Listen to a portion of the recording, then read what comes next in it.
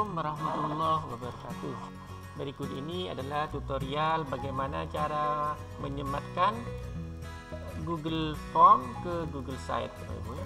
Jadi kalau pengen tampilan eh, soalnya lebih keren eh, dan bisa dikasih macam-macam, nanti eh, silahkan teman-teman lakukan embed data atau embed embed atau sematkan Google Form ini ke Google Site Bapak Ibu ya. Yang pertama silakan teman-teman atur dulu semuanya di sini di Google Formnya. Uh, kemudian untuk kali ini saya tidak akan membahas secara detail di Google Form. Saya anggap teman-teman sudah paham semua. Kemudian jika sudah selesai dan siap kirim, teman-teman klik kirim.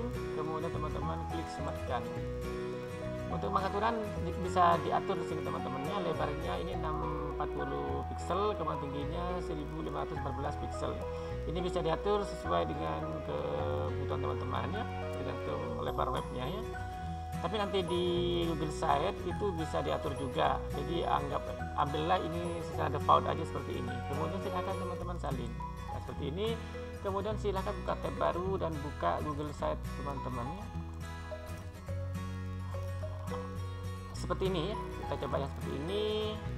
Kemudian jika sudah tampil silakan teman-teman misalnya uh, Google Form tadi mau dimasukkan ke feed uh, harian. Teman-teman kalau mau dimasukkan silakan buat uh, feed dengan nama pengirian harian. Kalau belum ada silakan teman-teman bisa tambah di sini. Masukkan halaman baru begitu teman-teman ya. Jika sudah selesai ini teman-teman tinggal klik aja di sini. Cara mengimpetkannya adalah seperti ini. Silakan teman-teman masukkan ke sisipkan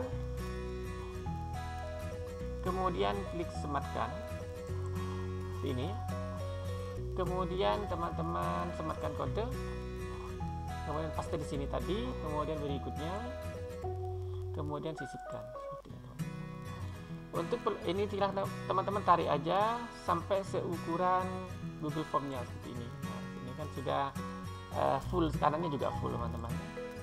Kemudian tarik ke bawah dikit biar teman-teman full. Satu itu udah apa ya ya sampai sampai muncul berikutnya ini.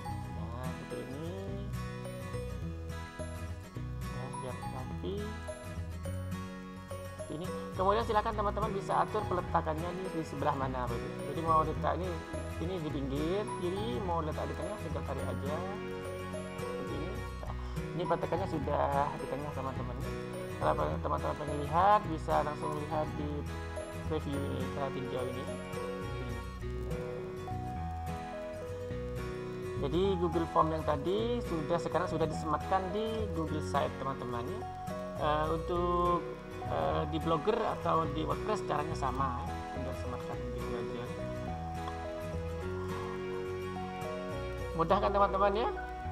Uh, mudah-mudahan bermanfaat. Demikian tutorial ini. Assalamualaikum warahmatullahi wabarakatuh